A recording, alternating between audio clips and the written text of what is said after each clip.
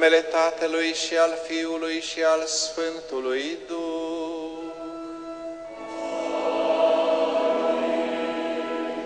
Harul Domnului nostru Isus Hristos și dragostea lui Dumnezeu Tatăl și împărtășirea Sfântului Duh să fie cu voi toți.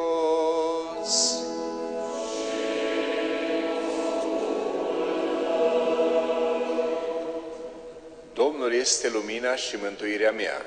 De cine mă voi teme? Domnul este apărătorul vieții mele.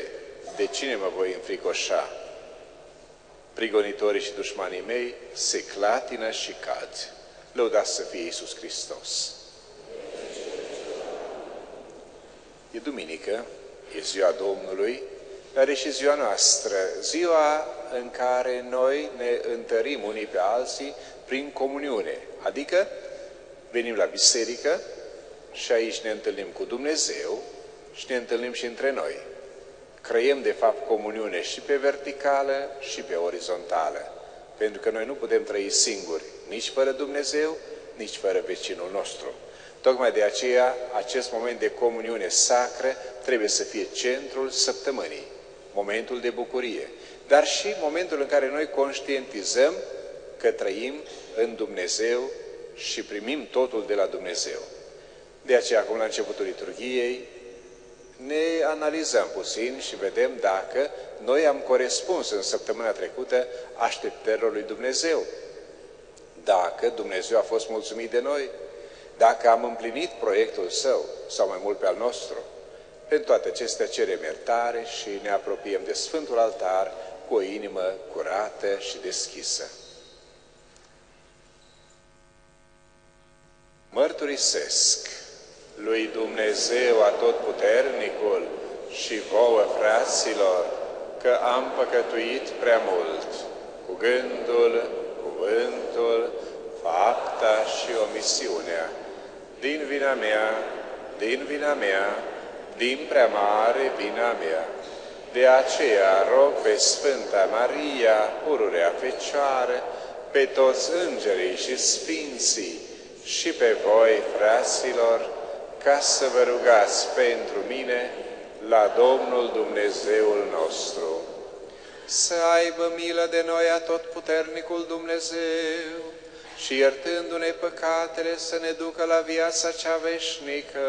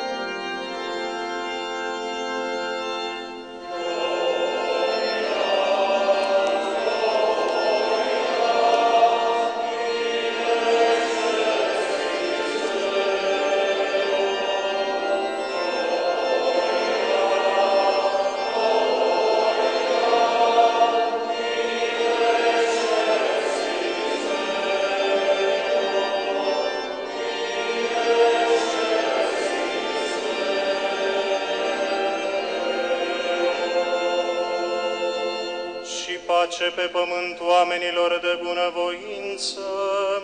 Te lăudăm, te binecuvântăm, te adorăm, te preamărim.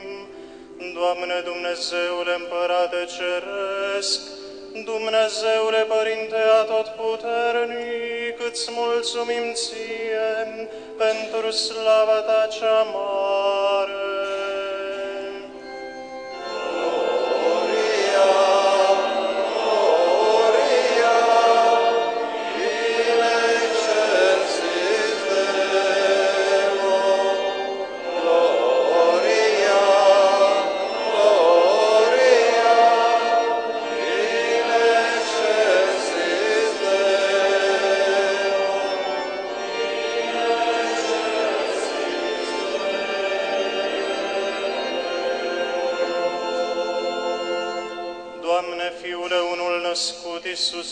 Hristoase, Doamne Dumnezeule, Mielului Dumnezeu, Fiul Tatălui, care e asupra ta păcatele lumii, miluiește-ne pe noi.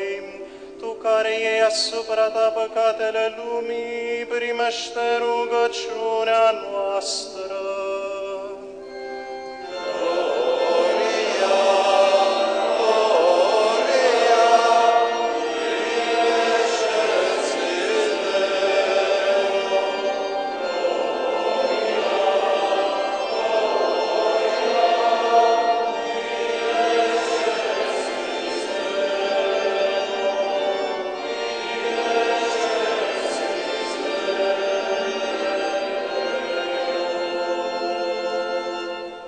Tu care șezi de-a dreapta Tatălui, miluiește-ne pe noi, fiindcă Tu singur ești Sfânt, Tu singur Domn, Tu singur prea înalt Iisuse Hristoase, împreună cu Duhul Sfânt, într mărirea lui Dumnezeu Tatăl.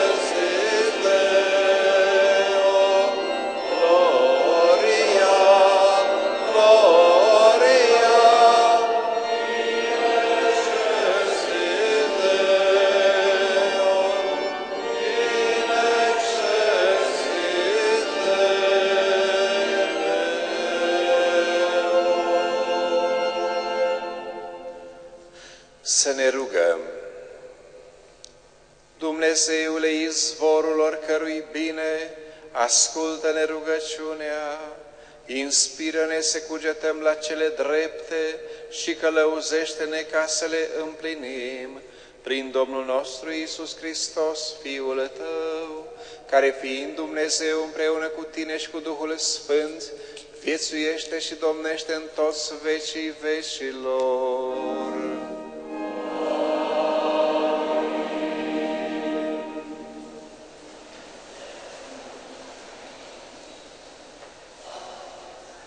Iată, Fiul tău trăiește.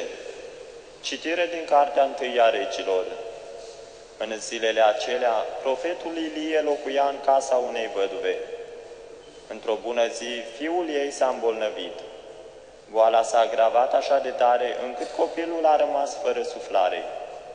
Atunci femeia i-a spus lui Ilie, Ce faci aici, omul lui Dumnezeu? Ai venit la mine ca să-mi aduci aminte de nelegiuirile mele și să-mi ucizi fiul? Ilie i-a răspuns, Dă-mi-l pe fiul tău. El l-a luat din brațele ei și l-a întins pe patul său. Apoi l-a invocat pe Domnul. Doamne Dumnezeul meu, îi vrei așa de mult răul acestei văduve la care locuiesc, încât să lași pe fiul ei să moare? Și s-a întins de trei ori peste copil, invocându-l pe Domnul. Doamne Dumnezeul meu, te implor, redă acestui copil viața. Domnul i-a ascultat rugăciunea lui Ilie. Copilul a început din nou să respire, a revenit la viață. Atunci Ilie a luat copilul, l-a adus din încăperea de sus în casă și l-a înapoiat mamei sale, spunând, Iată, fiul tău trăiește.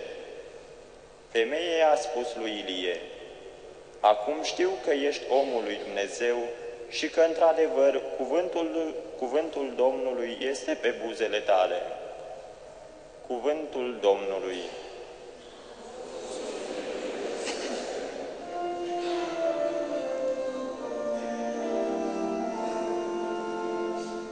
Te preamăresc, Doamne, pentru că m-ai eliberat.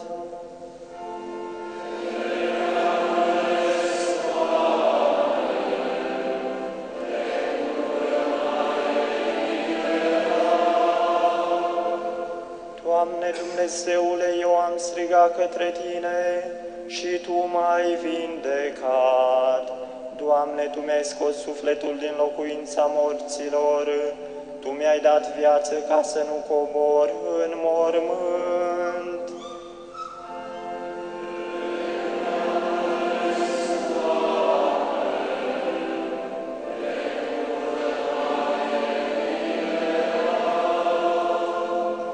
Cântați Domnului voi ce iubiți de El, măriți prin laudele voastre numele Lui cel Sfânt, căci mânia Lui ține o clipă, dar îndurarea Lui ține toată viața. Seara ne stăpânește plânsul, iar dimineață se revarsă bucuria.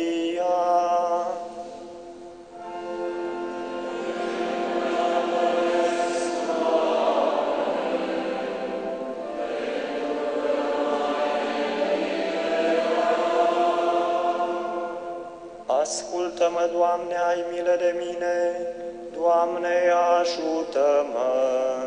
Tu mi-ai schimbat plânsul în veselie, Doamne, Dumnezeul meu, eu pururi te voi lăuda.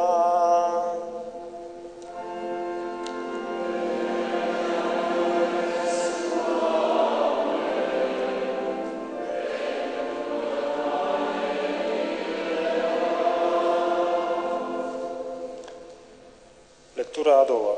Citire din scrisoarea Sfântului Apostol Paul către Galateni. Fraților, voi trebuie să știți că Evanghelia pe care o vestesc nu este de origine omenească, pentru că nu am primit-o și nici nu am învățat-o de la vreun om, ci am primit-o printr-o descoperire a lui Isus Hristos. Voi ați auzit fără îndoială care a fost purtarea mea de altă dată în iudaism, cum prigoneam peste măsură Biserica lui Dumnezeu și făceam prăpăd în ea. Eu îi întreceam în zelul pentru, pentru iudaism pe cei mai mulți de o vârstă cu mine din neamul meu și eram însuflețit de o râvnă nespus de mare pentru datinile strămoșești. Dar Dumnezeu mă alesese din sânul mamei mele, mă chemase prin harul său și într-o bună zi, El a găsit de cuvință să mi-l descopere pe Fiul Său, pentru ca eu să-L vestesc popoarelor păgâne. Imediat, fără a cere sfatul cuiva și chiar fără a urca la Ierusalim, ca să-i întâlnesc pe cei care erau apostoli înainte de mine, am plecat în Arabia, iar de acolo m-am întors la Damasc. După trei ani am urcat la Ierusalim ca să fac cunoștință cu Petru și am rămas împreună cu el 15 zile. Dintre apostoli n-am văzut pe nimeni altul afară de Iacob, ruda Domnului. Cuvântul Domnului.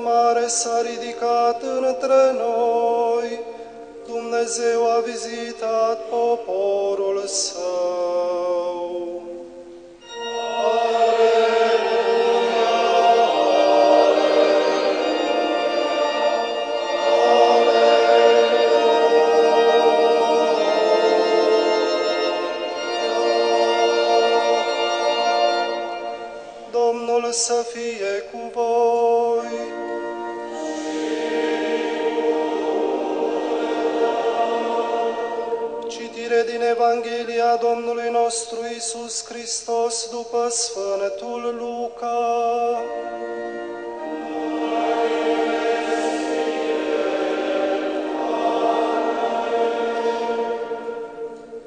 În timpul acela, Isus se îndrepta spre o cetate numită Naim. Împreună cu el mergeau ucenicii și o mare mulțime de oameni. Când s-a apropiat de poarta cetății, iată că era dus la mormânt un mort, fiul unic al unei mame, și ea era văduvă, și multă lume din cetate o însoțea. Văzând-o, Domnului i s-a făcut milă de ea și i-a zis, nu plânge. Apoi s-a apropiat și a atins năsălia. Cei care o duceau s-au oprit. Iisus i-a zis, Tinere, îți poruncesc, scoală-te. Atunci mortul s-a ridicat și a început să vorbească, iar Iisus l-a dat mamei sale. Toți au fost cuprinși de teamă și au început să-L preamărească pe Dumnezeu zicând, Un mare profet s-a ridicat între noi și Dumnezeu a vizitat poporul său. Vestea acestui fapt s-a răspândit în toată Iudeea și în ținuturile învecinate. Cuvântul Domnului.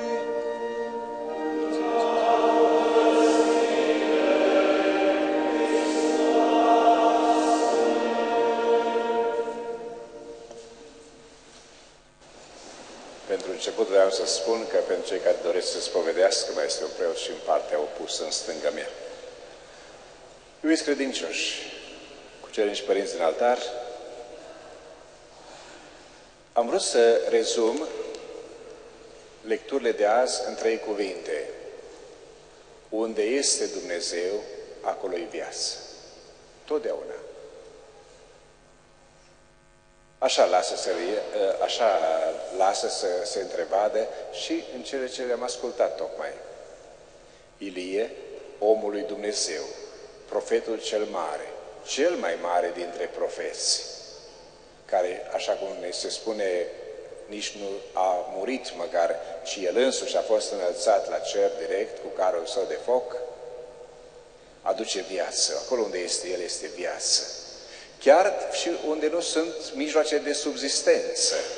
De exemplu, în uh, Sarepta Sidonului, unde a fost găzduit, femeia aceea nu mai avea nimic de mâncare, mai mâncau odată și mureau, și a venit Ilie și a continuat să fie viață.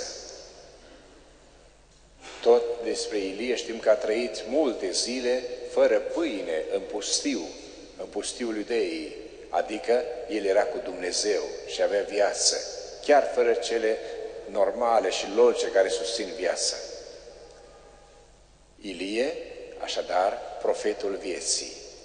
Și evanghelistul Luca, poate ați observat de multe ori, face referință la Ilie, ca și cum vrea să spună așa, Ilie, care a făcut atâtea minuni, a fost omul cel mare al poporului, care a luptat pentru credința adevărată, care a luptat pentru viață, care a luptat pentru justiție, care a luptat pentru credința într-un singur Dumnezeu, pentru că el este un mare promotor al monoteismului, Ilie este o prefigurare a marelui profet Isus. Și iată că astăzi Biserica ne pune alături cu aceeași caracteristică, a da viață. Iisus care dă viață. Sigur că noi avem foarte multe definiții ale lui Iisus Hristos. Iisus este Dumnezeu iubire, este păstorul cel bun, este tot ce vreți dumneavoastră. Dar trebuie să nu uităm să spunem că Iisus este viață. El însuși a spus, eu sunt calea, adevărul și viața. Dar când spunem că este viața, nu numai că El trăiește, El este viu, a venit ca om viu printre oameni, dar El oferă viață. Și aici este, cred eu, frumusețea Evangheliei de azi, dar frumusețea creștinismului. Pentru că dacă nu l-am ști pe Iisus Hristos viață, pentru noi creștinismul ar fi ca un fel de hobby. Ar fi ca un fel de, așa, hai să facem ceva în timpul liber. Dar când știm că Iisus dă viață, atunci creștinismul devine existențial. Nu mai putem fără creștinism. Nu putem fără Hristos. Aici este, dacă vreți, esența creștinismului. A obține și a reobține și a păstra viața. Se spune despre o femeie că i-a murit copilul, dar o femeie foarte credincioasă și băiatul foarte credincios. Sigur că durerea era totuși durere, dar se spune că ea a mers la cimitir într-o zi, după câteva zile de la mormântare, și în sărâna proaspătă a mormântului a semănat, cât, a semănat grâu. Și i-a spus celui care are grijă de cimitir, zice, uite, aș vrea ceva de la tine. Când se vor coace aceste, dacă eu nu am să mai trăiesc, când se vor coace aceste spice de grâu, să le culegi și cu semințele obținute să mergi la preot ca să facă hostii. De pe mormântul meu aș vrea să se vadă totdeauna lumina vieții și hostia de la liturghie va aduce din nou viață. Această mamă, această femeie creștină a crezut permanent într-un Dumnezeu care oferă și continuă viața. Dacă am analizat totul din punct de vedere științific, să spunem chimic, fizic și cum, biologic și cum vreți dumneavoastră, viața are un final și gata. Așa s-ar părea la prima vedere. Dar viața, pentru că este un principiu și nu este o simplă realitate vizibilă, viața este însuși Dumnezeu, nu putem spune că viața se termină. Sau că viața este doar așa facultativă. Viața este însă și existența lui Dumnezeu, este esența lui Dumnezeu. Dumnezeu este viu, permanent și Dumnezeu nu moare într-o zi. Tocmai de aceea Iisus vrea să ne arate că El, ca Dumnezeu, are putere, are în mâna sa puterea vieții. Dă viață. El însuși o va reobține. El însuși va, reavea, va avea din nou viață la înviere. Maica Domnului, care știm bine că a înviat și ea, nu? Lazar a înviat și el. O grămadă de persoane știm că au înviat. De aceea astăzi eu vreau ca dumneavoastră și eu să avem încă o dată această speranță că eu sunt creștin, nu așa numai pentru că vreau eu și îmi place și am, e o tradiție și e o obișnuință a familiei și așa îi place lui mama, așa îi place lui tata, așa este de 2000 de ani, hai să fiu și eu creștin. Nu! Doamne ferește să rămânem la acest nivel. Dar eu sunt creștin și vreau să fiu creștin pentru că vreau să am viață. Și revin la logo-ul de la început pe care l-am, spus. Unde este Dumnezeu, totdeauna este viață. Mi-ar plăcea să vedeți tot și dumneavoastră naimul. Nu știu, fac o paranteză și spun, veți găsi totdeauna în cărți fie naim cu m de la Mihai sau nain de la Nicolae. Ambele sunt valabile, dar noi am preferat în limba latină naim pentru că este și o altă uh, conotație. În limba ebraică, naim înseamnă frumos. Când vrei să spui la un om că e frumos, la o fată că e frumoasă, vei spune naim. Este naim. Bun. Și naimul, de fapt, pe de altă parte, astăzi, cred că mulți dintre noi am fost deja acolo, uh, naimul este undeva la poalele taborului. Este o taborul și apoi în față este muntele Gilboa și la poale muntele Gilboa, așa pe un semișes, este naimul. Uh, da, era una din cetățile de la poalele taborului pe vremuri. Acolo, din păcate, azi nu mai este niciun creștin. Este o bisericuță mică, urâtă, părăsită, mai fac călugării de la Nazaret câteodată acolo câte o slujbă. mi îmi pare rău că acolo unde Isus a făcut această minune, care eu spun că este de excepție, nu mai este un semn, măcar sau nu se ne nu este un semn creștin, ci doar acea bisericuță. Dar totdeauna am spus că acolo, chiar dacă pietrele nu există, locul a rămas același și parcă strălucirea minunii va rămâne totdeauna. În Evanghelia de azi, mergem mai departe, Iisus care se apropie de o mormântare. Am auzit pe cineva care spune, eu nu merg la mormântări niciodată. Mi se pare foarte trist, zice. Eu nu suport mormântările. Dar i-am spus, dar la ta tot ai să mergi, nu? Sigur că realitatea morții rămâne, chiar dacă nu ne place, ea este o realitate. Dar astăzi, această minune o povestim cu plăcere. De ce? Pentru că acolo este și Isus. Și nu știu dacă ați observat o invitație. O invitație pe care nu ne-a spus-o, nu ne-a spus-o nimeni de când e istorie, de când este omenirea. Nu ne-o spune nici lumea uh, științifică, nu ne-o spune nici lumea politică, nu ne-o spune nici lumea economică, nu ne-o spune nici filozofii niciodată.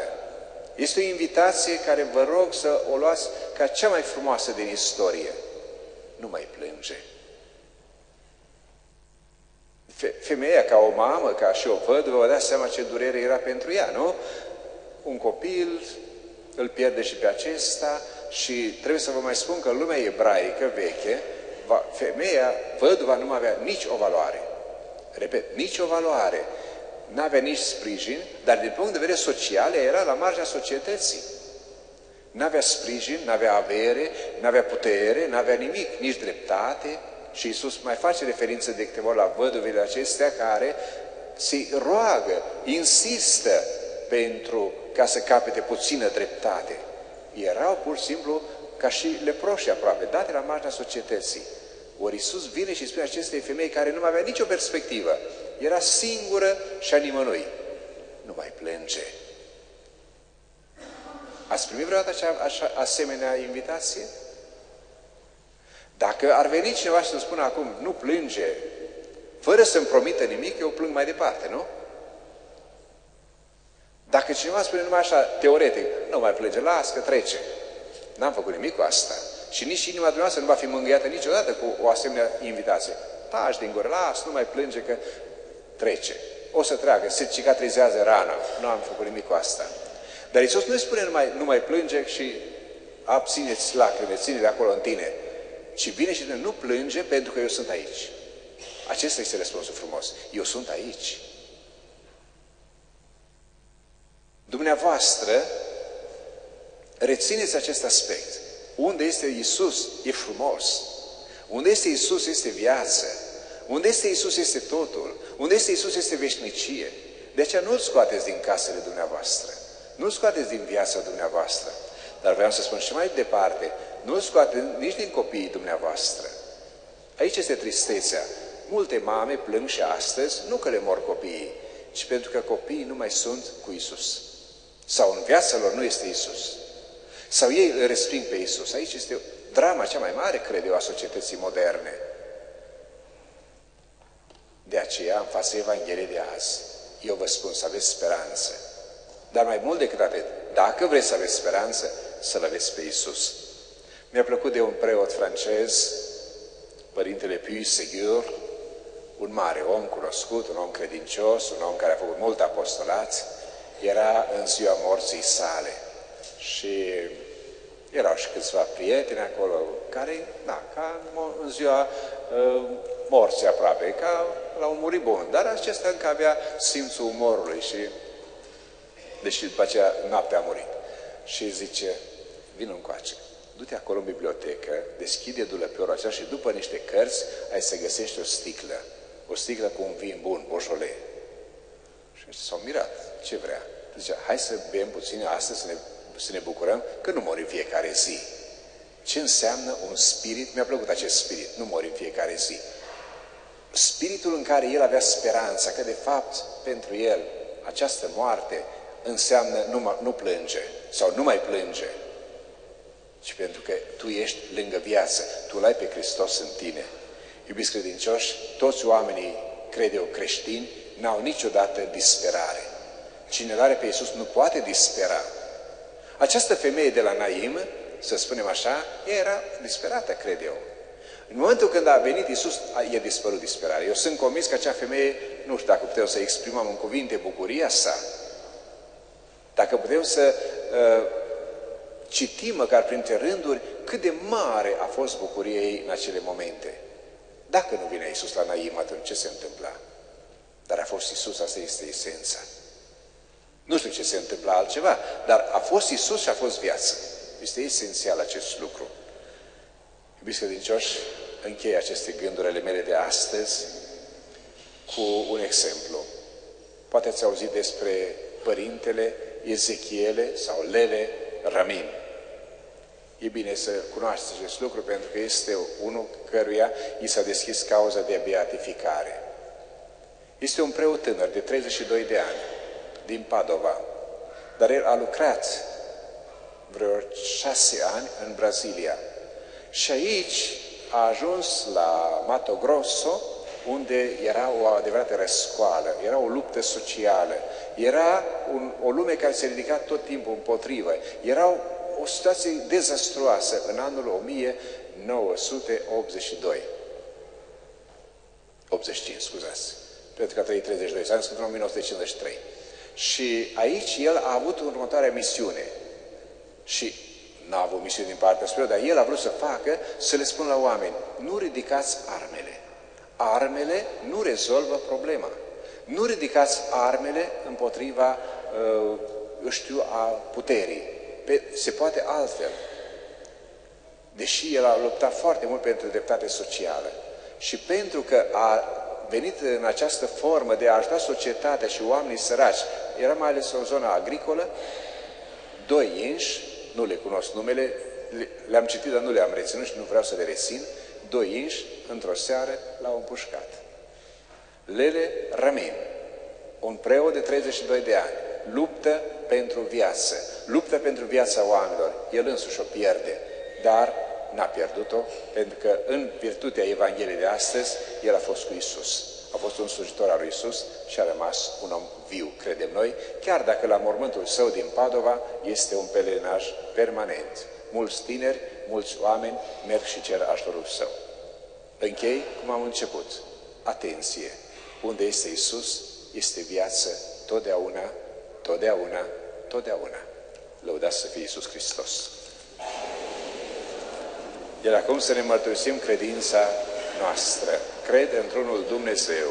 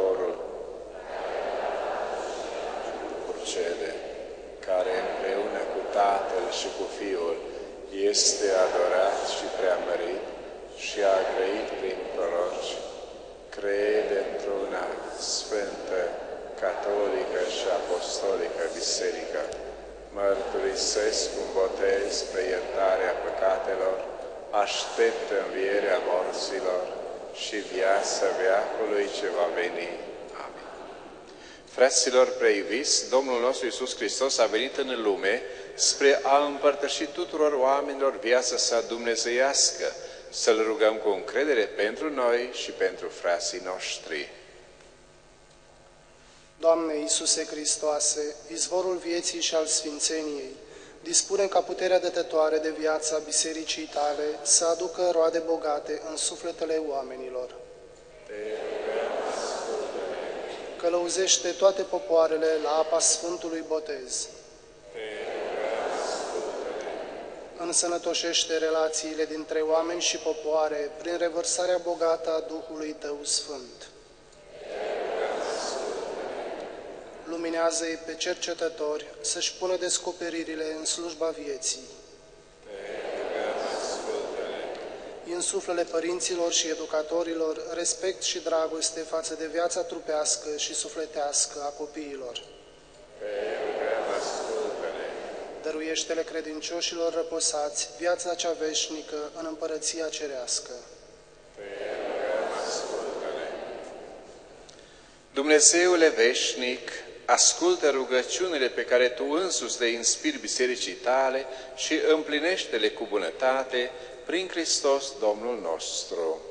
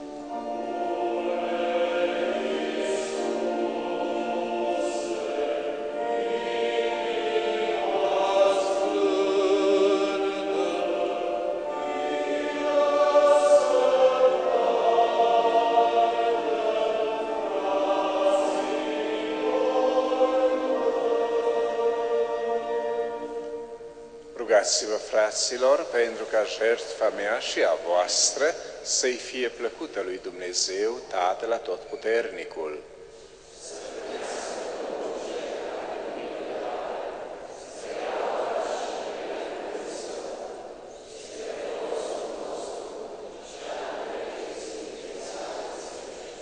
Te rugăm, Doamne, să privești cu bunăvoință la darul slujirii noastre, ele să fie pentru Tine jertfă bineplăcută, iar nouă să ne sporească iubirea prin Hristos Domnul nostru.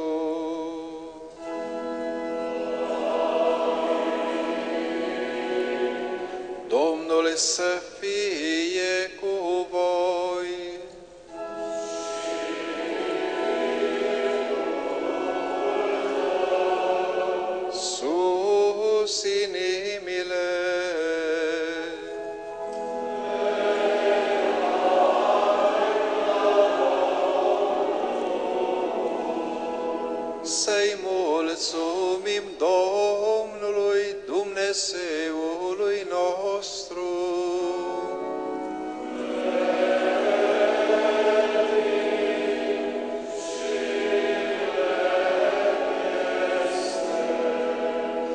Cu adevărat vrednic și drept de cuvință și mântuitor lucru este să se aduce mulțumiri pururea și în tot locul. Ție, Doamne, Părinte Sfânt, Creatorul Universului, Stăpânul timpului și al istoriei, Tu l-ai creat pe om după chipul Tău, i-ai încredințat lucrarea mâinilor Tale și l-ai pus să stăpânească peste toate făpturile. Pentru ca El, cunoscând și admirând tot ceea ce Tu ai săvârșit, să nu înceteze a Te preamări și a-ți mulțumi prin Domnul nostru Iisus Hristos, prin care cerul și pământul, îngerii și arhanghelii te laudă într-un singur glas. Sanctus,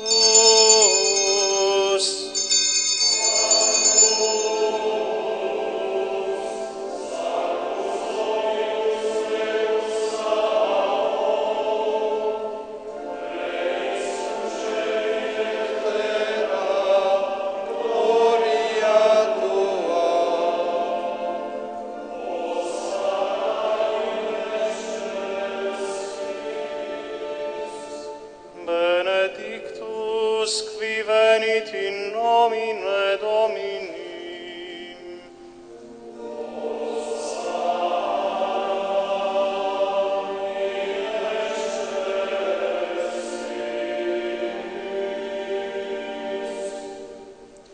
Cu adevărat, Sfânt ești, Doamne, izvorul la toată sfințenia. Te rugăm așadar, sfințește darurile acestea cu roa Duhului Tău, ca ele să devină pentru noi trupul și sângele Domnului nostru Isus Hristos. El, dându-se de bunăvoie spre pătimire, a luat pâinea și, mulțumind, a frânt-o și a dat-o ucenicilor săi, zicând, Luați și mâncați din aceasta toți. Acesta este trupul meu, care se jertfește pentru voi.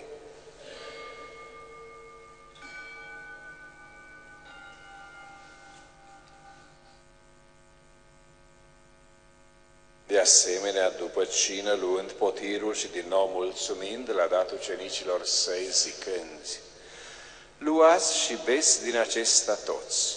Acesta este potirul sângelui meu, al noului și veșnicului legământ, care, pentru voi și pentru mulți, se varsă spre iertarea păcatelor. Faceți aceasta în amintirea mea.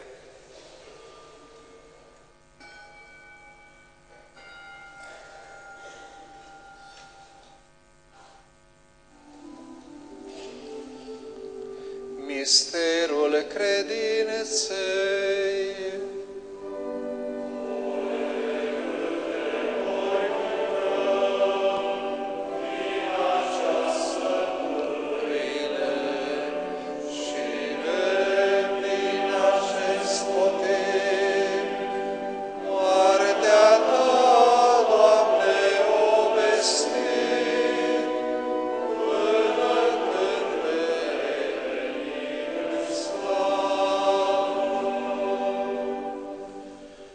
Celebrând așadar moartea și învierea Fiului Tău, îți oferim, Doamne, pâinea vieții și potirul mântuirii, mulțumindu-ți că ne-ai învretnicit să stăm înaintea Ta și să slujim Ție.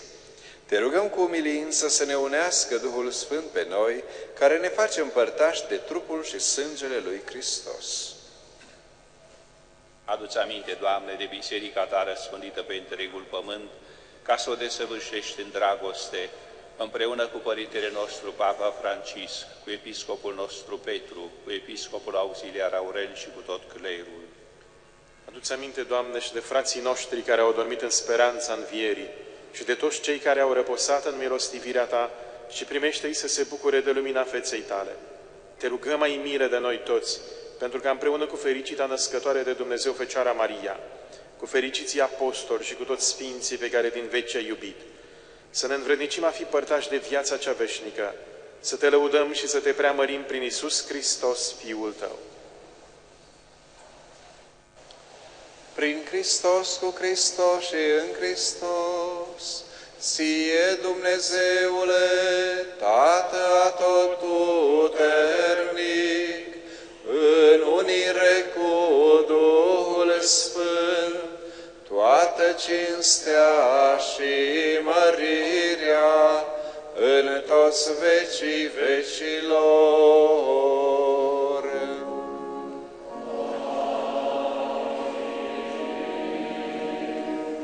Și acum toți împreună ne rugăm lui Dumnezeu, așa cum ne-a învățat Iisus Hristos. Tatăl nostru, care ești în ceruri, sfințească-se numele Tău, vie împărăția Ta, facă-se voia Ta, precum în cer, așa și pe pământ.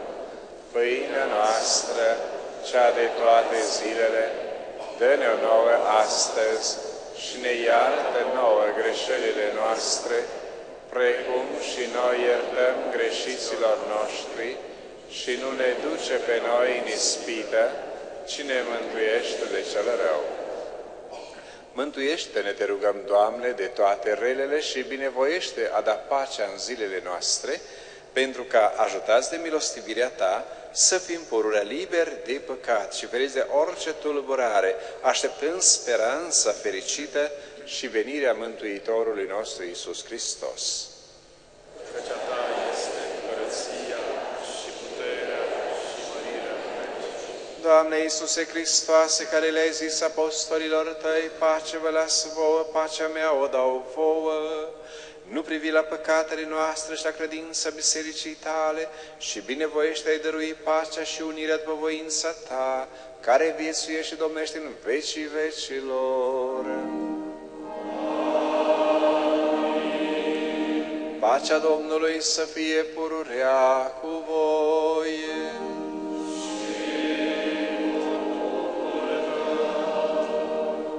Oferiți-vă pacea.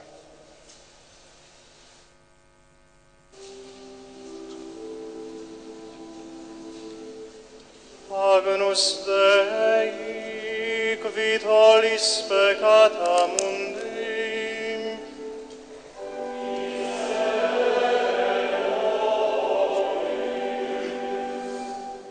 Agnus Dei, vitalis peccata mundi,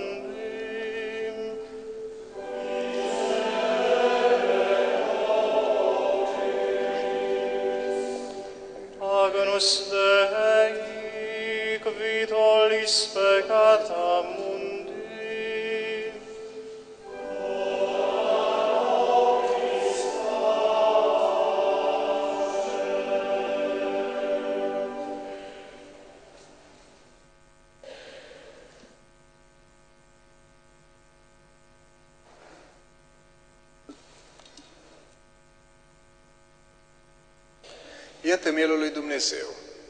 Iată-l pe acela care ia asupra sa păcatele lumii. Fericiți cei chemați la masa Domnului. Doamne, nu sunt vrednic să intri sub acoperământul meu, dar spune numai un cuvânt și se va tămădui sufletul meu.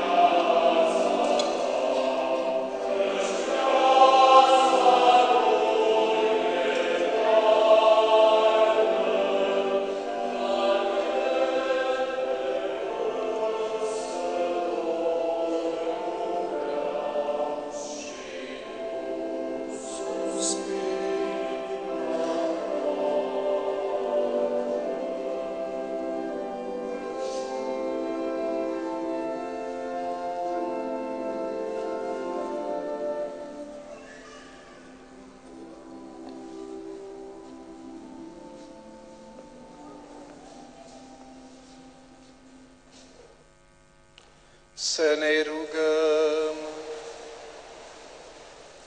Puterea tămăduitoare a tainelor tale, Doamne, să ne elibereze cu blândețe de toate pornirile strâmbe și să ne călăuzească pe calea cea dreaptă, prin Hristos Domnul nostru.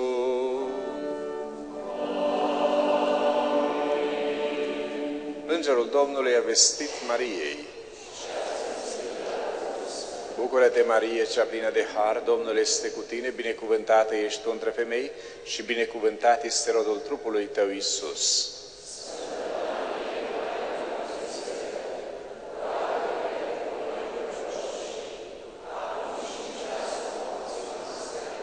Iată roaba Domnului. Bucură-te, Marie, cea plină de har, Domnul este cu tine, binecuvântată ești tu între femei și binecuvântat este rodul trupului tău, Iisus.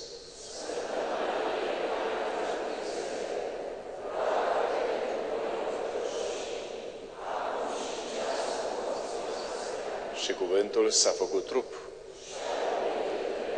Bucură-te, Marie, cea plină de har, Domnul este cu tine, binecuvântată ești tu între femei și binecuvântat este rodul trupului tău, Iisus.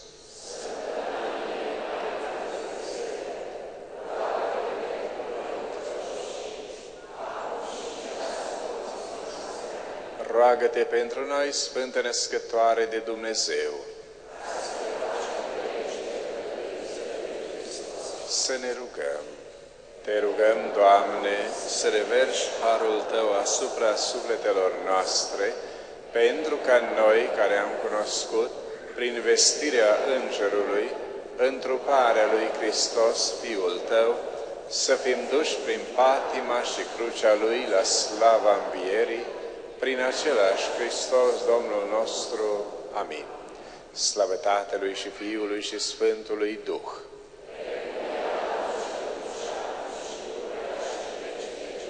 Slavă Tatălui și Fiului și Sfântului Duh.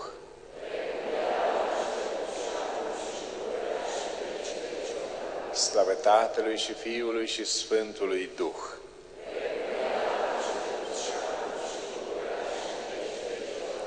Îngerul lui Dumnezeu,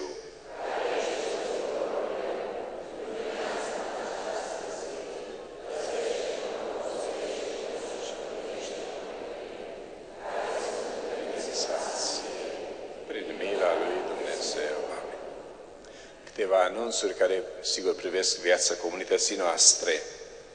În seara aceasta, la ora șapte și jumătate, 19.30, aici în catedrală va avea loc un concert, spunem noi, extraordinar, susținut de corul mare al catedralei, sub bagheta părintelui Florin Spătariu și acompaniat de o orchestră simfonică de multe, vreo 30 de instrumente, corul va interpreta Requiem de Mozart.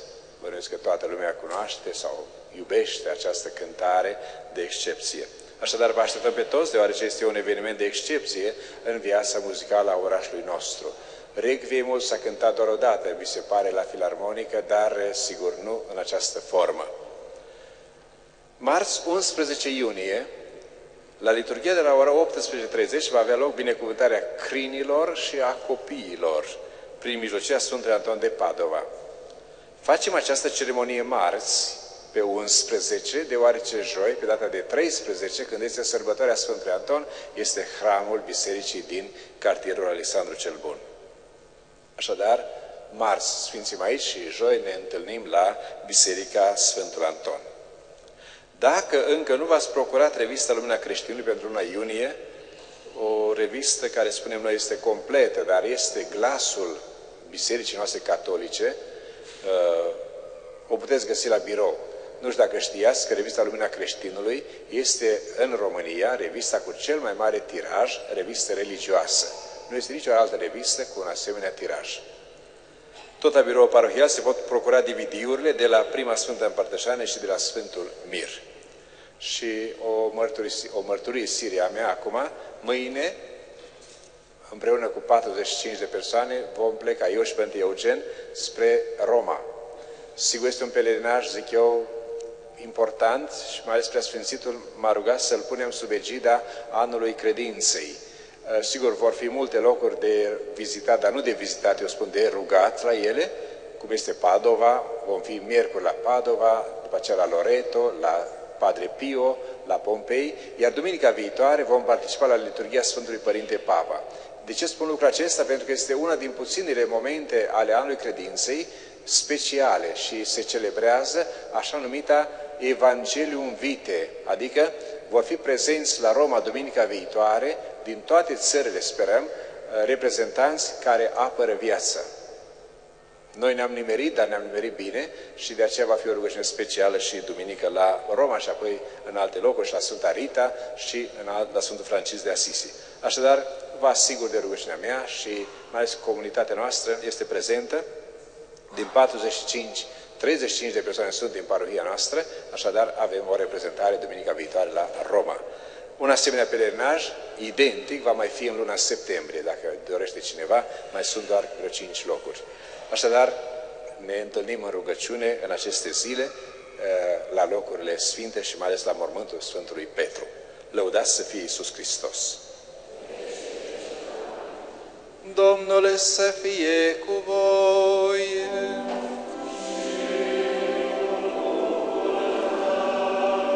Să vă binecuvânteze atotputernicul Dumnezeu, Tatăl și Fiul și Sfântul Duh.